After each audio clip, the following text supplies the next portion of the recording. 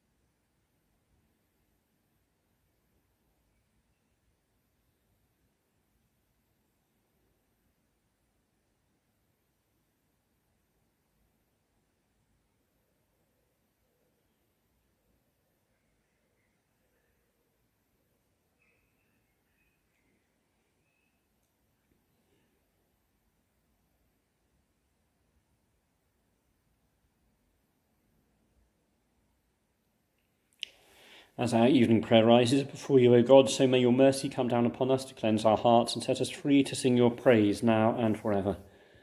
Amen. The psalms appointed this evening may be found at the back of the book in the Psalter 52, 53, and 54. 52, 53, and 54. We'll open and close with refrains provided. We'll say the glory be between the last verse and the refrains. We repeat it. I'll read straight through. You're welcome to listen to all, read all, or just read the even numbered verses as if we were doing antiphonally here, audibly to each other. And the prayers that follow uh, may be used in silence as we see fit. Psalms 52 to 54 inclusive. I trust in the goodness of God forever and ever. Why do you glory in evil, you tyrant? While the goodness of God endures continually. You plot destruction, you deceiver. Your tongue is like a sharpened razor. You love evil rather than good, falsehood rather than the word of truth. You love all words that hurt, O you deceitful tongue. Therefore God shall utterly bring you down. He shall take you and pluck you out of your tent and root you out of the land of the living. the righteous shall see this and tremble. They shall laugh you to scorn and say, this is the one who did not take God for a refuge, but trusted in great riches and relied upon wickedness. But I am like a spreading olive tree in the house of God. I trust in the goodness of God for ever and ever. I will always give thanks to you for what you have done. I will hope in your name, for your faithful ones delight in it. Glory to the Father, and to the Son, and to the Holy Spirit, as it was in the beginning, is now, and shall be for ever. Amen. I trust in the goodness of God for ever and ever.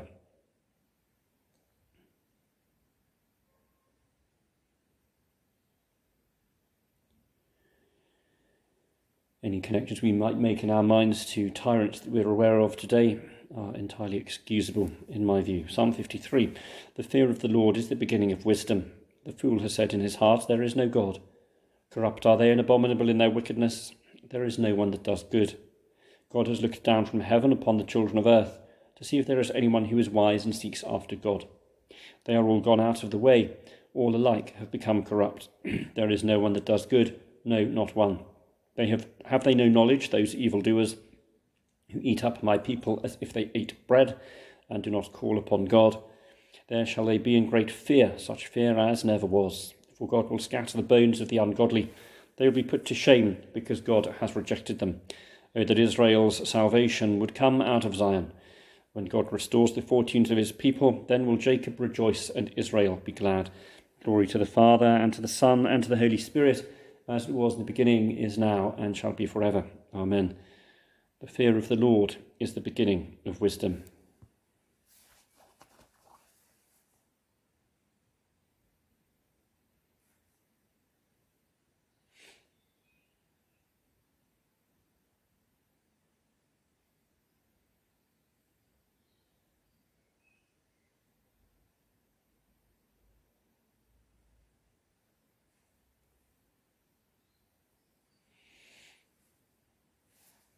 Behold, God is my helper.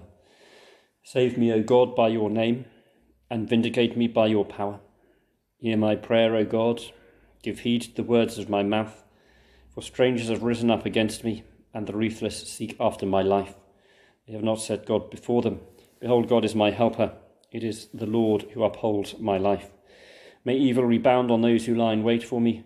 Destroy them in your faithfulness. An offering of a free heart will I give you and praise your name, O Lord, for it is gracious. For he has delivered me out of all my trouble, and my eye has seen the downfall of my enemies. Glory to the Father, and to the Son, and to the Holy Spirit, as it was in the beginning, is now, and shall be forever. Amen.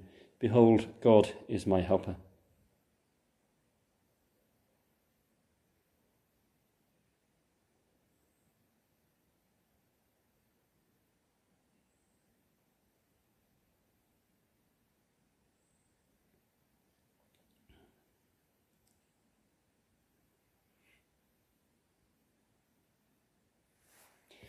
Scrolling past our first reading to a song of Christ the servant, turning back to the same in evening prayer during Lent. Christ committed no sin, no guile was found on his lips. Christ suffered for you, leaving you an example that you should follow in his steps. He committed no sin, no guile was found on his lips. When he was reviled, he did not revile in turn. When he suffered, he did not threaten, but he trusted himself to God who judges justly. Christ himself bore our sins in his body on the tree, that we might die to sin and live to righteousness. By his wounds you have been healed, for you were straying like sheep, but have now returned to the shepherd and guardian of your souls. Glory to the Father, and to the Son, and to the Holy Spirit, as it was in the beginning, is now, and shall be forever. Amen. Christ committed no sin, no guile was found on his lips. Our first Bible reading, Jeremiah 8, the first 15 verses. The large numbers in the text are the chapter numbers, the small numbers are the verses. So we're looking for the book of Jeremiah, which opens the major prophets alongside Isaiah. They come just after. So if you're following in a book off the shelf, it's uh, between halfway and two thirds of the way through. You find the prophets section after the wisdom bit. Jeremiah chapter 8, the first 15 verses. They may also be found if you're following online just before the canticle we've read a moment ago. At that time, says the Lord, the bones of the kings of Judah, the bones of its officials, the bones of the priests, the bones of the prophets, and the bones of the inhabitants of Jerusalem shall be brought out of their tombs, and they shall be spread before the sun and the moon and all the host of heaven, which they have loved and served, which they have followed, which they have inquired of and worshipped, and they shall not be gathered or buried, they shall be like dung on the surface of the ground. Death shall be preferred to life by all the remnant that remains of this evil family in all the places where I have driven them, says the Lord of hosts. You shall say to them, Thus says the Lord, when people fall, do they not get up again? If they go astray, do they not turn back? Why then has this people turned away in perpetual backsliding? They have held fast to deceit, they have refused to return. I have given heed and listened, but they do not speak honestly. No one repents of wickedness saying, What have I done? All of them run their own course, like a horse plunging headlong into battle. Even the stork in the heavens knows its times, and the turtle dove, swallow, and crane observe the time for their coming. But my people do not know the ordinance of the Lord. How can you say we are wise, and the law of the Lord is with us, when in fact the false pen of the scribes has made it into a lie?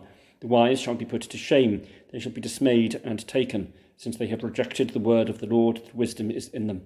Therefore I will give their wives to others and their fields to conquerors, because from the least to the greatest everyone is greedy for unjust gain. From prophet to priest everyone deals falsely. They have treated the wound of my people carelessly, saying, Peace, peace, when there is no peace. they acted shamefully, they committed abomination, yet they were not at all ashamed.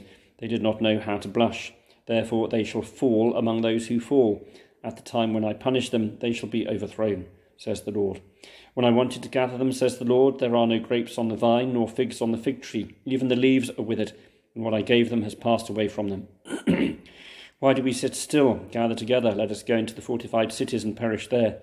For the Lord our God has doomed us to perish, and has given us poisoned water to drink. Because we have sinned against the Lord, we look for peace, but find no good, for a time of healing, but there is terror instead.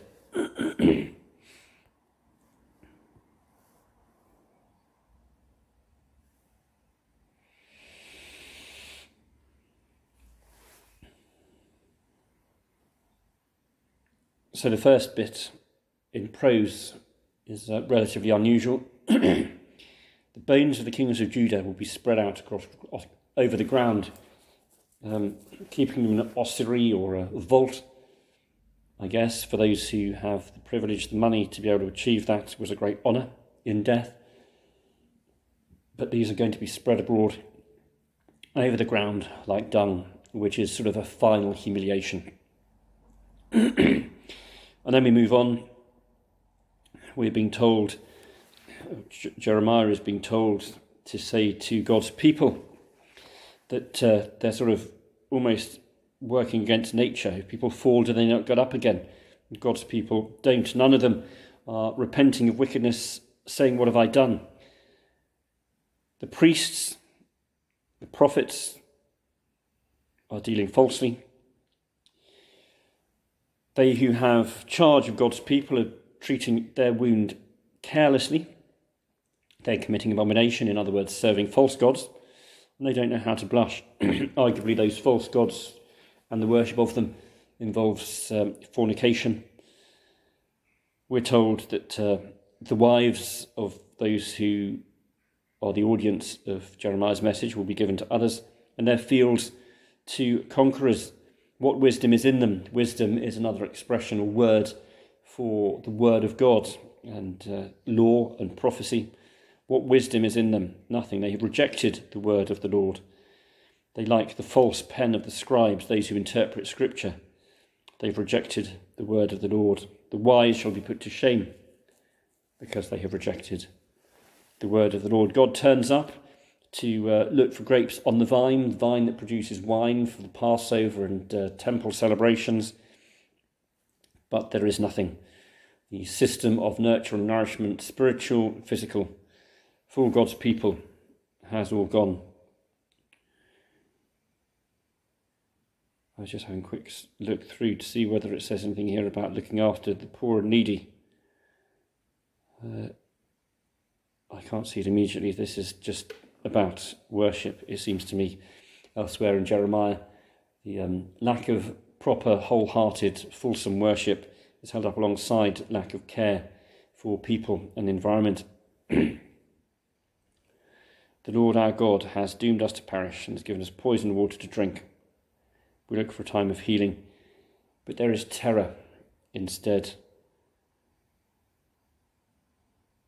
May we hear these words and see in our own land these uh, manifestations of wrongdoing, and may we ourselves turn and apologize, and may we, as Jeremiah, call on those around us who do not worship in spirit and in truth, those who oppress the poor, that they may turn to God as they fall, that God may help them stand again. Our second reading from the Gospel of John, this time chapter 6, large numbers at the head of the paragraph, chapter 6, small numbers in the text, 52, verse 52 to verse 59. John is the fourth of the Gospels that open the Second Covenant of Greek Scripture, so if you're following the Bible, turn to about two thirds of the way through and open it. And uh, familiar Christian names, to those of us of a certain generation, Matthew, Mark, Luke, and John. If you're finding those, then you're in the, Hebrew, Greek Scriptures, so move onwards or towards the back of the book. And um, if you're a bit before that, you might find some Hebrew sounding names or more Hebrew sounding names to us. Um, they're the minor prophets. So John 6 from 52. The Jews then disputed among themselves, saying, How can this man give us his flesh to eat? So Jesus said to them, Very truly I tell you, unless you eat the flesh of the Son of Man and drink his blood, you have no life in you. Those who eat my flesh and drink my blood have eternal life, and I will raise them up on the last day. For my flesh is true food, and my blood is true drink. Those who eat my flesh and drink my blood abide in me, and I in them. Just as the living Father sent me, and I live because of the Father, whoever eats me will live because of me. This is the bread that came down from heaven, not like that which your ancestors ate and they died, but the one who eats this bread will live forever. He said these things while he was teaching in the synagogue at Capernaum.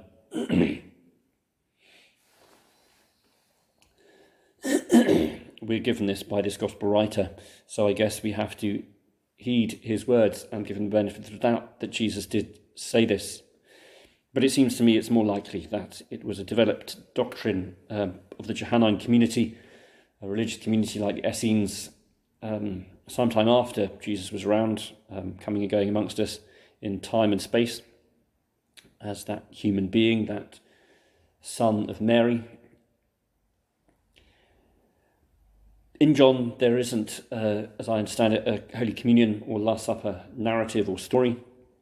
The feeding the 5,000 and discussion of wine and uh, bread throughout are all hints and echoes of uh, what, uh, how the Mass pervades all aspects of our lives.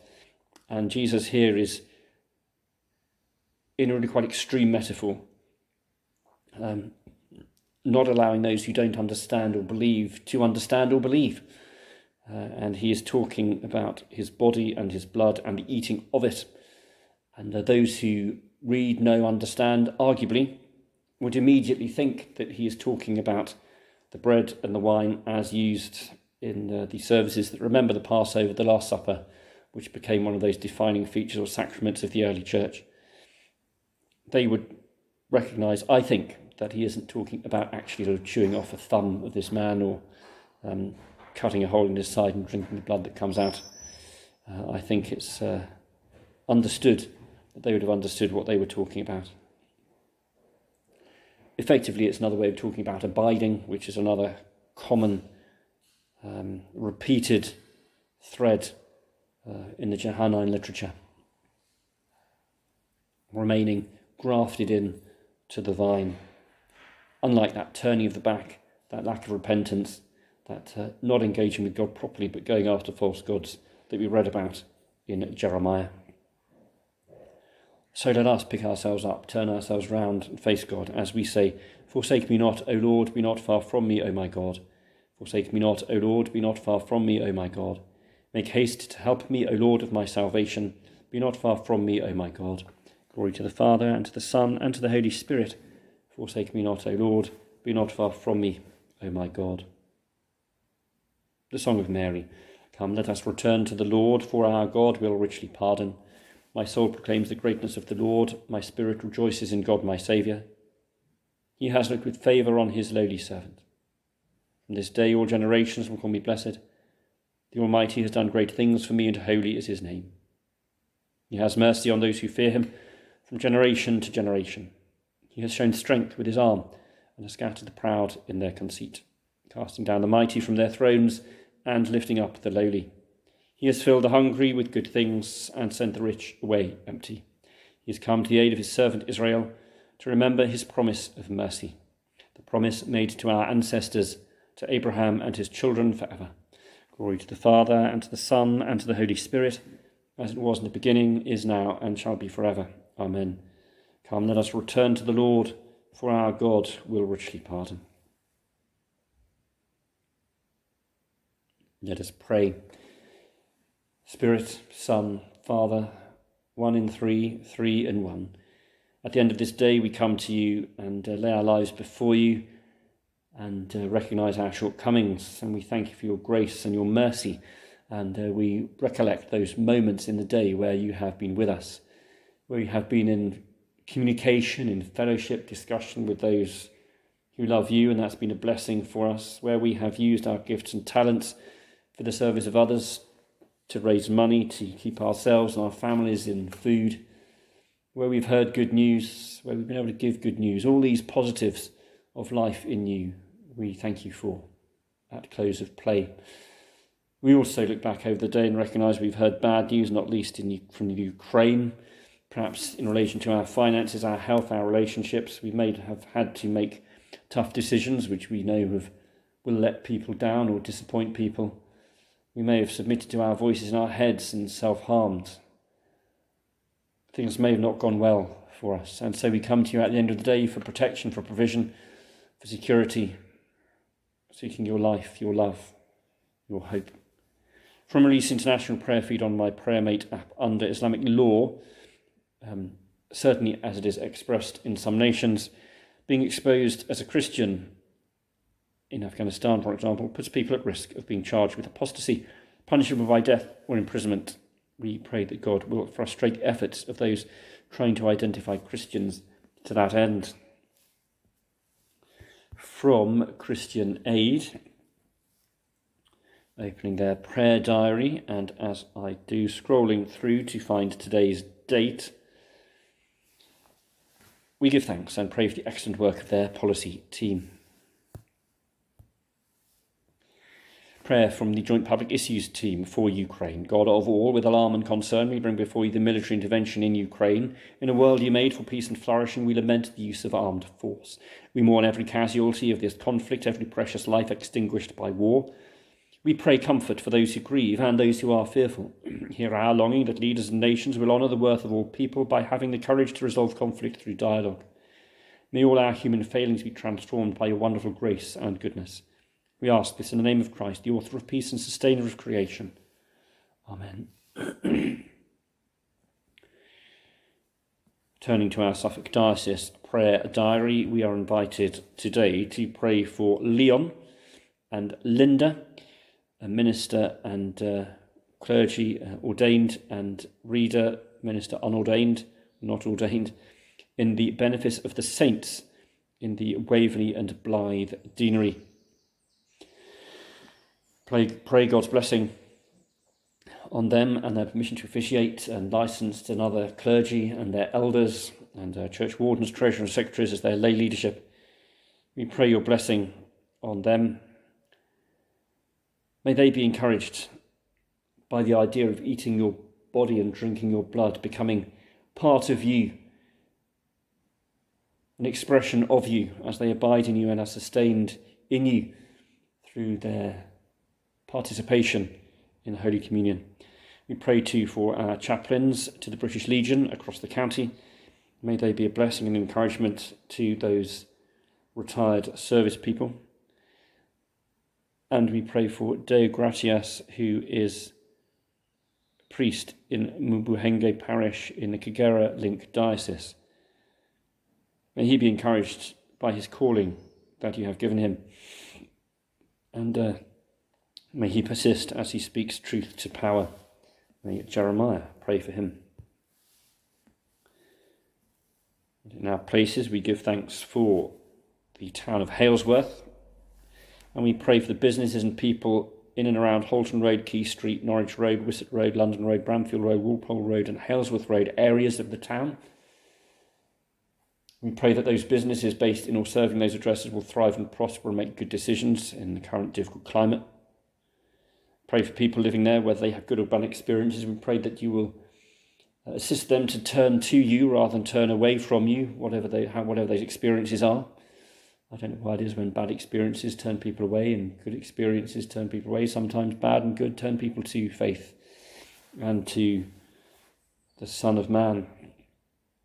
And uh, we pray that those of faith, that their life experiences will grow and build in them fruit of the Spirit that will be valued treasured uh, and influential towards by those amongst whom they live in those addresses.